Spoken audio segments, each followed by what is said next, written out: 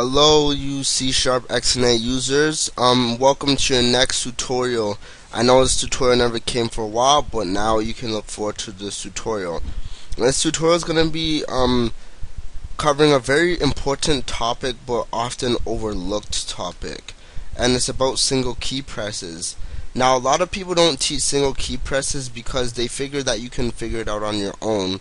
But um sometimes it could be quite a hassle learning how to do it right? So I'm going to teach you exactly how to do single key presses with XNA now I've worked with a lot of different graphics libraries and by far XNA's way is the easiest because it has the perfect built-in functions to allow you to do to, to detect single key presses. So to show you how to do it we're gonna have um, a string called te um, um, we're gonna name it text and the value is gonna be show. So when we press down a button, when we when we press it, it's gonna um, show our text. It's gonna display show, and when we release the button, then it's the text is gonna disappear. So we're gonna be learning about pressing down keys and detecting the releasing of keys. And you might be saying, why do we have to detect releases? Well, it could be very useful in certain situations, especially if you're working with, say, the mouse and say you're making a paint program and you say that when you click um say you're drawing a line you click to the start point to draw the line. You hold it until you drag to a certain point and when you release then it ends up drawing the line right? So a release is not a more common one. You normally detect for key presses for single key presses but sometimes you want to detect for single key releases. So um, uh, let us get into the code. So then after that, um, we have a boolean variable called display text, which is equal to false. So basically, the text will not be displayed to the screen right now. And then now we have um, we created two keyboard states. Uh, um, a keyboard key state, or we can say that's a current key state. But I'll set it to key state. That is the actual um, key that you're pressing and keyboard state previous key state which is equal to the key state that happened last update. And then we have our we're, load, we're creating a sprite font to display our text. So in initialize nothing. We load in the load content we load our sprite font. Um now in the update this is where we actually detect for single key presses. So um we already know about the function is key down. And that's a very great function because it detects for continuous um, it detects if the key is pressed down for every single frame or every single update. And that's cool but um, that's not good for single key presses because when you the the update method will update probably 60 frames per second right? Which is what you really ideally want in the game. So if you press down, even if you press down the down key for a second, it like it will detect that so many times. It will detect that at 60 frames. It will detect that you've pressed it 60 frames or 60 times because of um because of the timing that you pressed it. If we were able to like press down a button and release it in like say less than a millisecond or a millisecond, then it wouldn't matter. But for now, we only want to detect it as though the button was only pressed once, and then it won't detect it after again.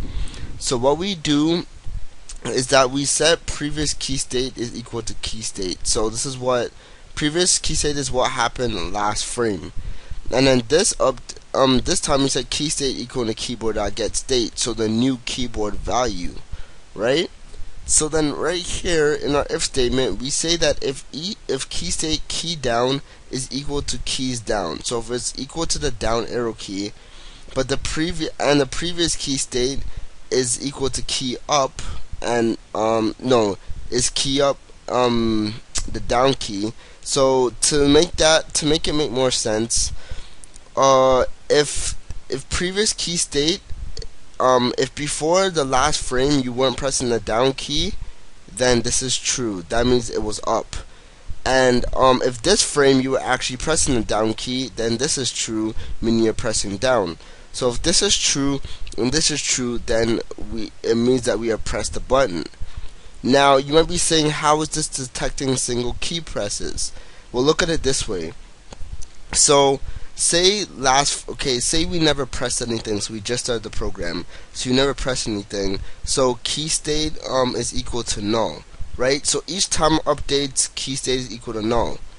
Now um this update it goes to this line and says previous key state is equal to key state and key state is equal to null. So previous key state is equal to null. Then it goes here but we're actually pressing the down key this loop so key state is equal to keys dot down. So previous key state is equal to null, but this is equal to keys dot down. So it's saying if the key if the key press down is um, down, and if the if the down arrow key isn't being pressed, then display text equals true, right? So say we say we hold say we're holding down the down arrow key, right? We loop again.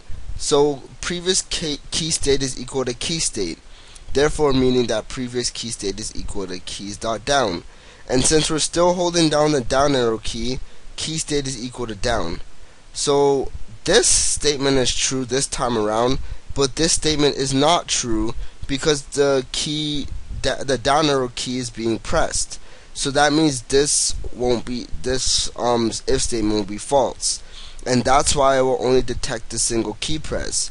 Now if I was to release the down key and then press it again, then this statement would be true again, and therefore only detects, detects one key press, if that makes sense to you.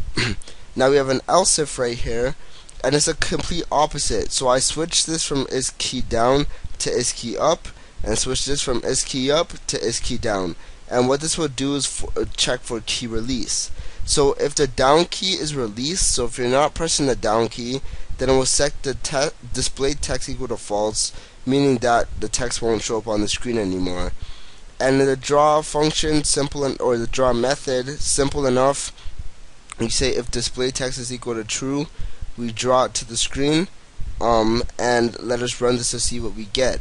So in our game window, we see nothing right now. But if I press a down arrow key, it shows up. Now I'm holding the down arrow key right now, and then once I release it, then it doesn't do anything. I mean it disappears. The text disappears. When I hold it it stays on. When I release it disappears. So on and so forth. So I hope you enjoyed this tutorial. Um, next tutorial is gonna be on uh, single mouse um, presses or, or like um, single mouse state or whatever. It's the exact same way to do it just using the mouse state but for those of you who just want to just to see me do it then I'll show it to you in the next tutorial. So thanks for watching this hope you enjoyed it and bye